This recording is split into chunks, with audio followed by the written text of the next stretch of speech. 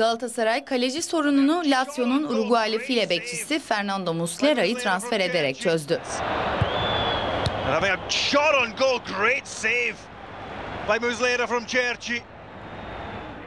Galatasaray yönetimi Muslera'yı transfer edebilmek için Lorik Sana'yı bonservisiyle Lazio'ya vermeyi kabul etti.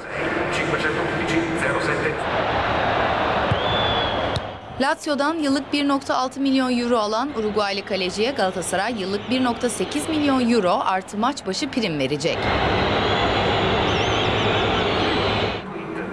Galatasaray yönetiminin Fatih Terim'in kaleci transferinde ilk sırada yer alan Muslera'ya 5 yıllık sözleşme imzalatacağı belirtildi. Kariyerine 2004 yılında Montevideo Wanderers'da başlayan Uruguaylı Fernando Muslera 2007 yılında Lazio'ya transfer oldu.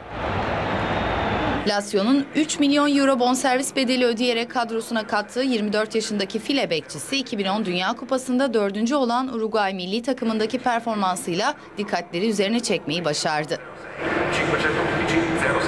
511 07 Bu sezon İtalya Serie A'da 36 maçta forma giyen Muslera, 13 karşılaşmada kalesini gole kapatarak takımının ligi 5. sırada bitirmesinde büyük rol oynadı. più vicina sul tricolore 17 kez de Uruguay milli takımının formasını giyen 1.90 boyundaki file bekçisi artık Galatasaray'ın başarısı için ter dökecek.